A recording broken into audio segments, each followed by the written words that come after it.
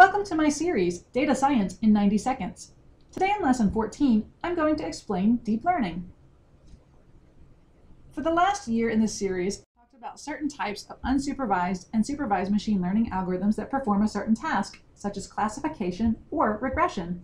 Deep learning can use either unsupervised, supervised, or reinforcement learning techniques, and is inspired by the human brain. In deep learning, the computer uses neural networks, more on that topic in a later video, to automatically select relevant variables. One drawback is that deep learning can be harder to interpret and explain. Let's look at an example where we try to predict the likelihood of credit card fraud. In traditional machine learning, we might use the customer's transaction amount as the feature that might indicate fraud. If the transaction amount was over $500 or some other threshold, we would think fraud had occurred.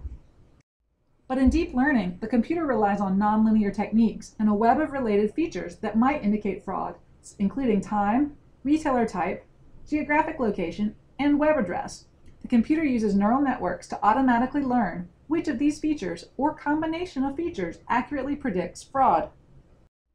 I hope you've enjoyed today's lesson on deep learning.